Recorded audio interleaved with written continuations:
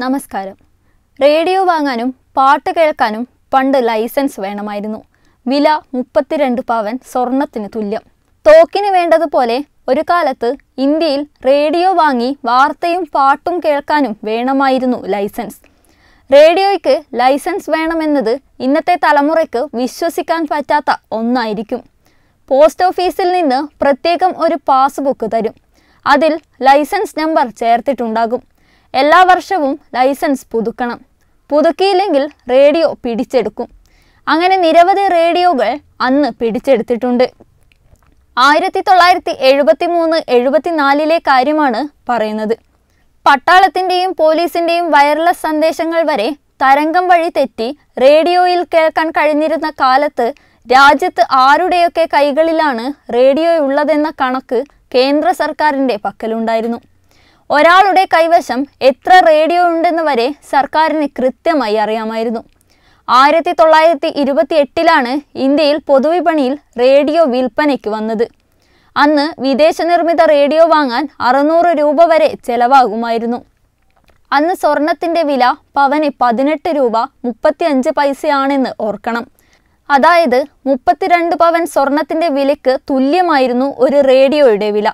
പിന്നീടുള്ള വർഷങ്ങളിൽ ഇന്ത്യയിലും റേഡിയോ നിർമ്മാണം തുടങ്ങിയതോടെയാണ് ധനികർക്ക് മാത്രമല്ല ഇടത്തരക്കാർക്കും സ്വന്തമായി വാങ്ങി റേഡിയോ കേൾക്കാൻ അവസരം ലഭിച്ചത്. ആയിരത്തി തൊള്ളായിരത്തി ഇരുപത്തി എട്ടിലെ റേഡിയോ ലൈസൻസ് ഫീസ് വർഷം പത്ത് രൂപ വരുമായിരുന്നു. അതേ ലൈസൻസിൽ രണ്ടാമതൊരു സെറ്റ് കൂടി വാങ്ങാൻ മൂന്ന് രൂപ അധികം നൽകണം. സ്വാതന്ത്ര്യം ലഭിച്ച ശേഷം ആയിരത്തി തൊള്ളായിരത്തി എഴുപതിലാണ് ലൈസൻസ് ഫീസ് ആദ്യമായി വർദ്ധിപ്പിച്ച് പതിനഞ്ച് രൂപയാക്കിയത്. എല്ലാ വർഷവും തൊട്ടടുത്തുള്ള പോസ്റ്റ് ഓഫീസിൽ ലൈസൻസ് ബുക്ക് നേരിട്ട് ഹാജരാക്കി ഫീസ് അടച്ച് സ്റ്റാമ്പ് പതിപ്പിക്കണം. രാജ്യസുരക്ഷയെ ബാധിക്കാത്ത വിധം പട്ടാളത്തിന്റെയും പോലീസിന്റെയും സിഗ്നൽ സംവിധാനങ്ങൾ ആധുനികവത്കരിച്ചതോടെ റേഡിയോ ലൈസൻസ് എന്ന ബാധ്യത സർക്കാർ എടുത്തുകളഞ്ഞു. ആയിരത്തി തൊള്ളായിരത്തി എൺപത്തിനാല് മുതൽ രാജ്യത്ത് ആർക്കും റേഡിയോ വാങ്ങി കേൾക്കാവുന്ന വിധത്തിൽ ബ്രോഡ്കാസ്റ്റിംഗ് നിയമങ്ങളിൽ മാറ്റവും വരുത്തി. ജനങ്ങളുടെ പ്രതിഷേധത്തിന് വഴിയൊരുക്കിയിരുന്ന ലൈസൻസ് രാജിന് കാലത്തിനൊത്ത മാറ്റം വന്നു തുടങ്ങിയതോടെ റേഡിയോ ലൈസൻസിന് സമാനമായ സൈക്കിൾ ലൈസൻസും ശീലക്കുട ചൂടാനുള്ള ലൈസൻസും ഒക്കെ ഇല്ലാതായത്. അതുവരെ രാജകുടുംബങ്ങളും ബ്രിട്ടീഷ് അധികാരികളും മാത്രം ചൂടിയിരുന്ന ശീലക്കുട ഇന്ത്യയിലെ സാധാരണ പൗരന് ചൂടണമെങ്കിൽ തഹസിൽദാർ നൽകുന്ന ലൈസൻസ് പേപ്പർ വേണമായിരുന്നു. ഈ പേപ്പറുമായി എത്തുന്നവർക്ക് മാത്രമാണ് പണം നൽകിയാലും വിൽപ്പന കേന്ദ്രങ്ങളിൽ നിന്ന് കുടകൾ ലഭിച്ചിരുന്നുള്ളൂ.